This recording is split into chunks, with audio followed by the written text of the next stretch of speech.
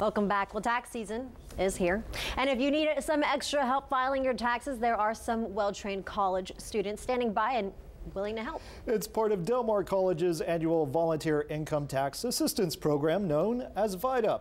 And the first thing you should know is that this service is completely free.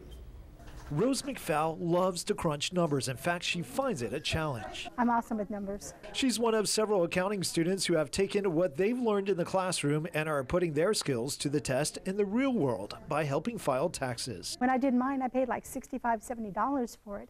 And I'm thinking, that's crazy especially if it's a simple return and it takes 10 minutes to do. Now in its 18th year at Del Mar College, the VITA program helps folks keep that money in their pockets. The service is free, done by first and second year tax students who are accounting majors. Among those we found waiting in room 204 was Ricardo Trevino. This is his second year stopping by. It helps me out a lot and also helps out the students here.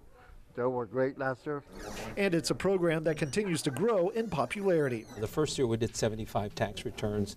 Uh, last year we did close to a thousand. Adelfino Palazzo says an instructor is always on hand to keep an eye on the students and calls it a win-win. Uh, our students are getting uh, practical experience. Uh, the IRS provided the software that we're using, so they're they're doing actual real returns. Keep in mind the free tax service is to file basic returns. That means no business or rental properties and is for those who made less than 56,000 in 2019. You have to bring your W2s and identification. Now, the help is available every Tuesday and Thursday. It started today and will continue through April 14th from 2 p.m. to 6 p.m.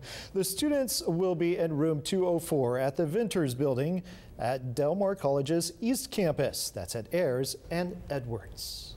Some talented students over there. Gonna go check them out.